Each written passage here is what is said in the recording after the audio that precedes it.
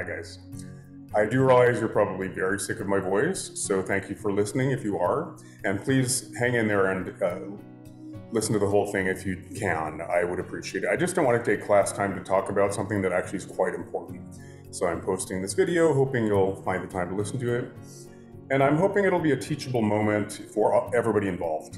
Uh, as you probably know, this is a new venture for CTN and Tina, sort of doing a hybrid uh, format, and it's obviously new to me. I'm conforming my format to a hybrid, I mean, my content to a hybrid format. So there's been a huge learning curve, and I think it's getting slicker and slicker, and uh, we're all guinea pigs. So I, I hope we're, you know, all on board in that spirit.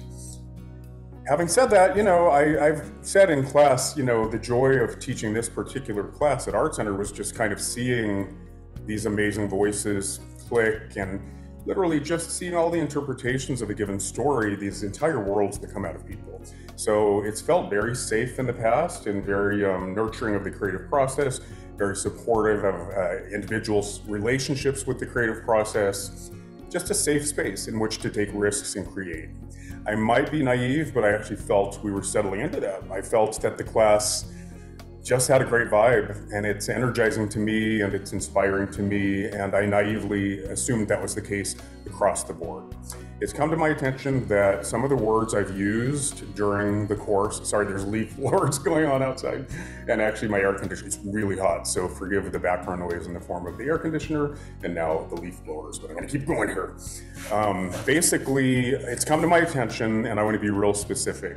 Uh, this is a learning opportunity, a teachable moment, and I'll tell you what my takeaway is at the very end, you know, how I can conform my approach to better accommodate people.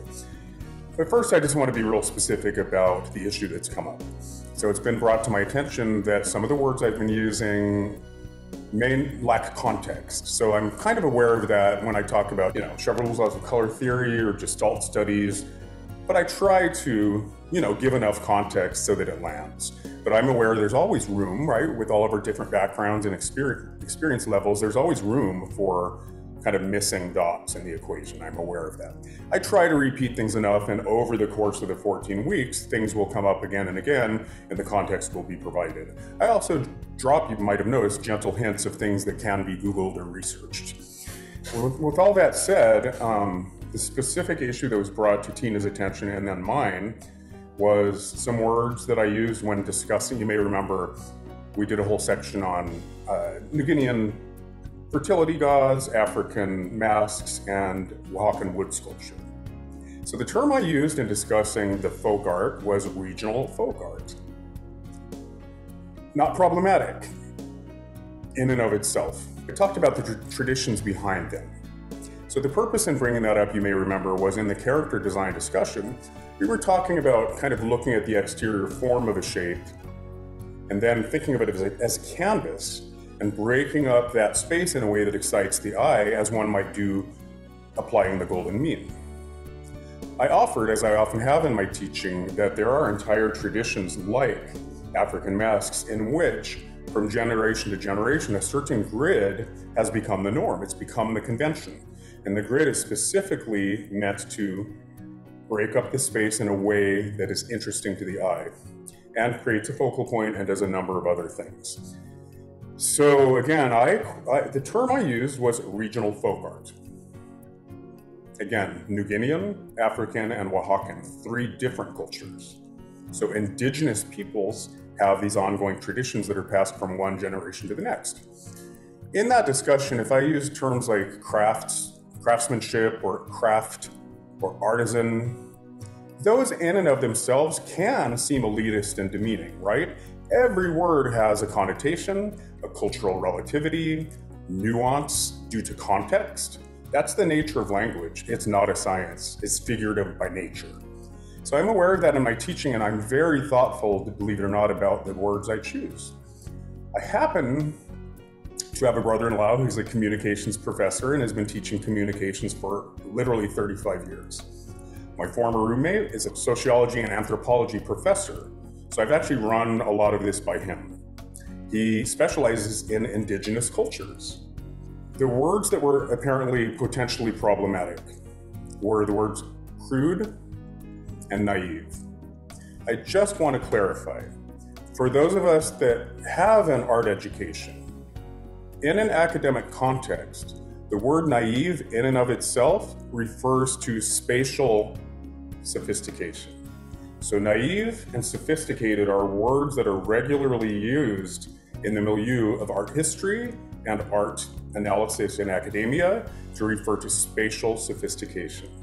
So when I used the word crude, it had zero to do with the artisans and craftsmen that created the work, nor did it have anything to do with the ethnic subculture with which it was associated. Refers to spatial sophistication only. The word crude in art history and in art circles, in art speak, you often hear crudely tooled, finely tooled, as opposite ends of a spectrum.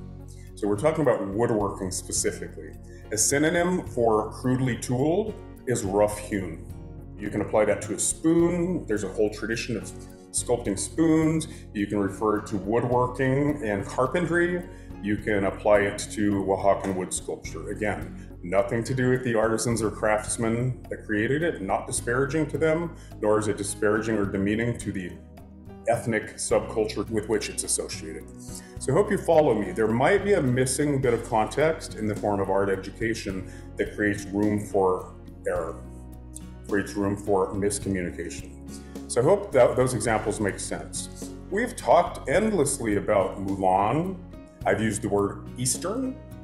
Again, you go to Janson's art history books, you're often, often going to see Judeo Christian, tradition juxtaposed against Eastern tradition. You're going to see Western European traditions and conventions juxtaposed with Eastern. To speak about regional folk art in and of itself, it's a generic term, it's not inherently problematic. To speak about crude or naive, that's an art term that has zero to do with the ethnicity or subculture. So I just want to be clear. At Art Center, I am at the forefront of diversity and inclusion. I've been to every meeting to do with sensitivity, diversity, and inclusion in academia.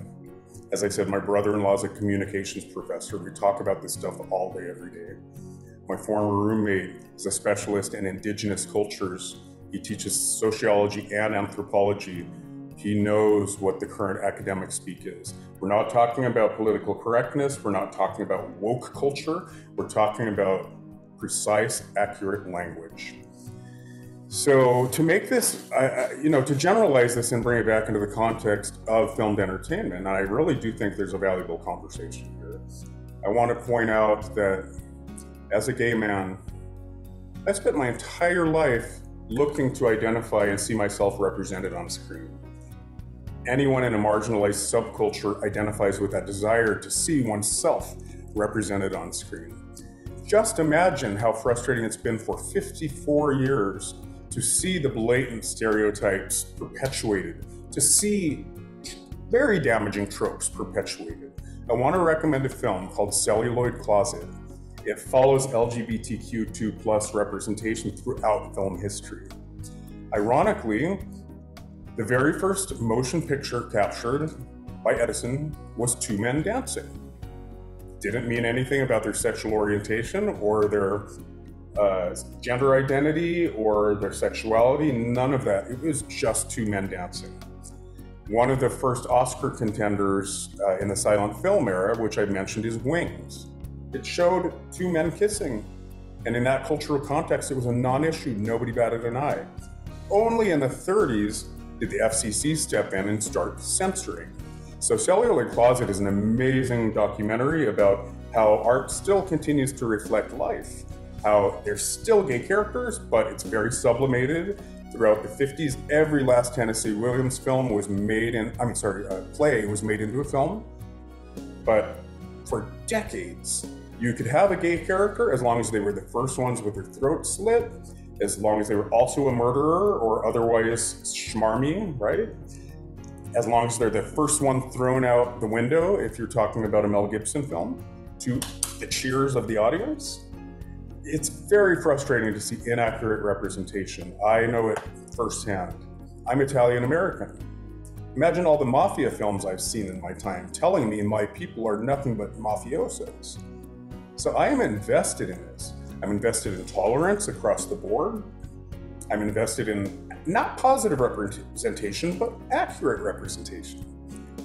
Diversity and inclusion.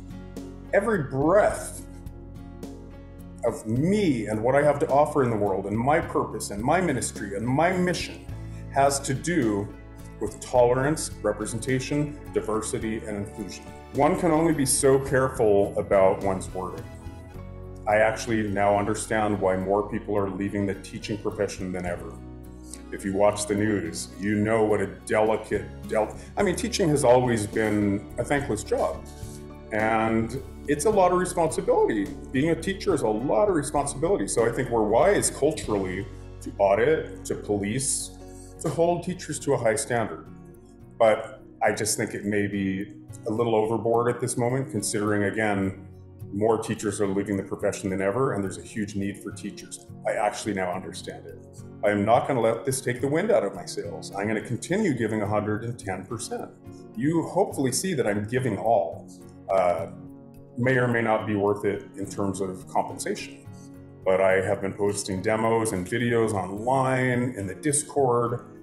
Uh, sadly, I can't spend extra time after class, which is my normal MO, because I got to get home to the dog. But I am not going to let this take away my enthusiasm, and I'm going to continue giving 110%.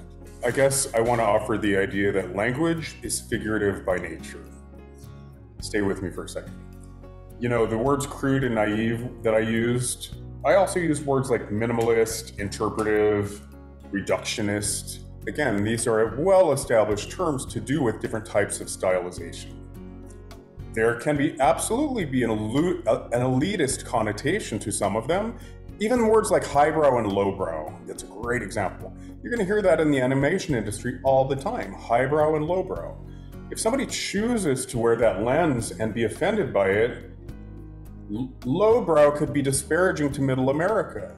But these conversations go on, especially among creative execs, in determining their core audience, etc., etc. So the level of maturity has to do with recognizing language is inherently figurative by nature. Every word one could choose has not only a connotation that depends on context 100%, but it has cultural relativity. So language is meant to be figurative for a reason. That's the power of language. That's the power of storytelling to bring it back around to the whole purpose of the program. So I really feel strongly that the creative process suffers when there's too much censorship and editing, and that unfortunately is typical of today's cancel culture. We're editing ourselves right and left. So I would encourage everybody to lighten up and understand the figurative function of language. There's always cultural context, cultural relativity, connotations, positive and negative, that depend on context. So when we talk about art, any term you could choose reductionist, minimalism, again, highbrow, lowbrow, crude, naive all of those words could be offensive if one chose, you know what I mean, to walk around with that lens. It's not going to serve you in the studio system in a collaborative medium like film. That's my best advice to you. So, again, I of course don't have time to go back and watch literally every single moment of these videos, but it's very transparent. I mean, we, uh, there's a lot of ears right there in the room. I'm very aware of what I say because of all the ears. My colleagues and contemporaries are out in cyberspace. I mean, it's available to the entire world. So I've been pretty precise about my language. But on that front, you know, without reviewing all the tapes, my recollection is we have one project in the class that's set in China. That was the twist that this student put on it. We have one that's set in India. I have used the blanket term Eastern in certain cases. If that's offensive, I do apologize. But I do know you know, there's a long standing tradition with art history alone of sort of contrasting Eastern tradition with Judeo Christian tradition or Western European tradition. I didn't invent those schools of thought, but I apologize if they're offensive. Um, and again, it is a blanket term, Eastern. It doesn't honor or do justice to any one culture. I understand that. Uh, but these conversations do go on in the trenches, and that's kind of what I wanted to impart in bringing it back to like an entertainment context and making it a teachable moment. And when I said level of maturity, here's what I'm getting at. again, in discussing Mulan, I didn't want to walk on eggshells. I wanted to share my experience in the trenches of hearing the art direction discussed. So when I mentioned woodblock prints, watercolors, Chinese letter forms, if any of it was disparaging, I apologize, but these were the conversations that went on. I will say Disney has, you know, been uh, under fire many times for not doing it right, right? For not, for offending given ethnic groups or cultures. So these conversations about ethnicity and what makes a character look a certain way, they just happen. There's no way around it. So nobody's walking on eggshells again, if I had to be offended by the inaccurate representation of my peeps, the gay community, I mean, I would have switched planets a long time ago. I would have gone to Mars. So it's all, you got to pick your battles, is my opinion. And uh, just know these conversations do go on in the trenches, and it's not a delicate topic. I'm a big fan of epigenetics, so I don't know if you know, you know, what they're discovering in epigenetics recently. But we are, just in my worldview, we are responsible for being at the cutting edge of thought forms. And that is actually what gets passed on to future generations. So we always need to be transforming and evolving individually and then on the macro level. We all need to be contributing to our collective evolution. That includes accurate language. That includes language that accounts for the experiences of others unlike ourselves. So I do think, you know, for example, if some of you are greener artists and you're not out there working in the field yet, I support you in continuing to improve the language, if that makes sense. But I also think you could um, pick your battles, and I think you could recognize an ally when you have one. And as a gay man in a very marginalized community and an Italian American who has spent his entire life resenting the mafiosos I see on screen, I'm asking you to recognize me as an ally.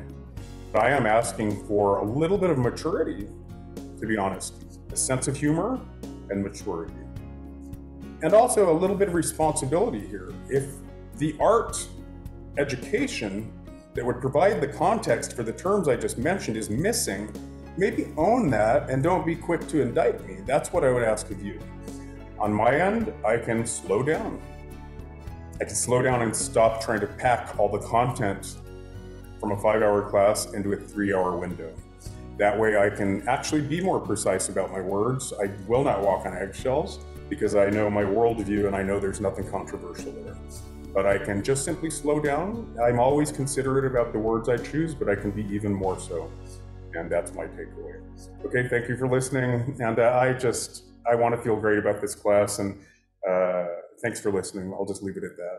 Bye, guys. I'll see you next Tuesday.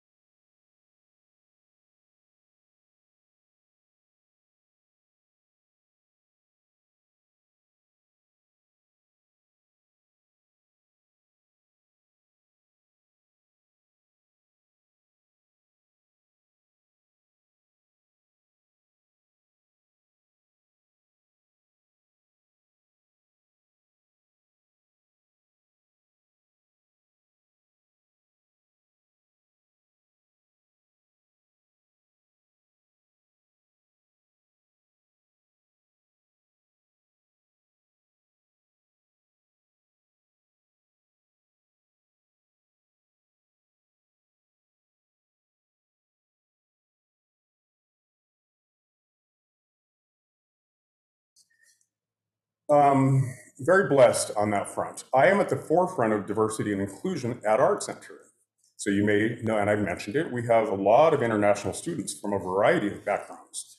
Um, so I've been in every department meeting to do with diversity and inclusion. Personally, my own brand has to do with positive representation, of course, promoting tolerance, specifically for the LGBTQ2 plus community. And everything I do is toward the end of improving the representation and the inclusion of marginalized groups. So it's ironic I'm being sort of called to the carpet, and that's what I want to talk about.